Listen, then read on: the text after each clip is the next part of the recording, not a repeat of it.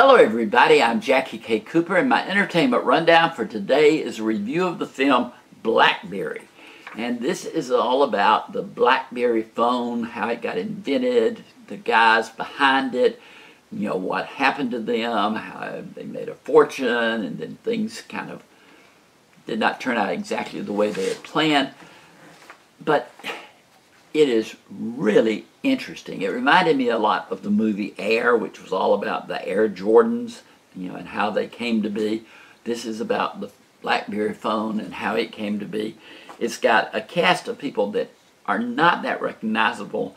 Jay Baruchel, I have seen in other things, and he's really good as the, the man behind the idea on this. Also, Glenn Howerton, Matt Johnson, Michael Ironside, who you'll recognize, and Cary Elwes. So, got some people you'll recognize, others that you might not, but it's all about the story.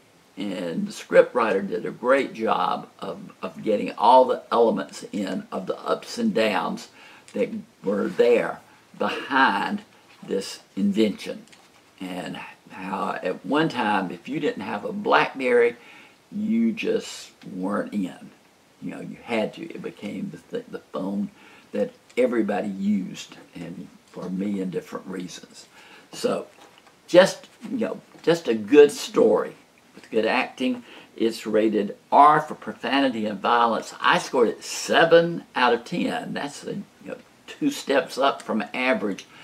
I had a good time with it. I think you will too. It's just, it's all in the plot, it's all in the acting, and it's primarily all in the story.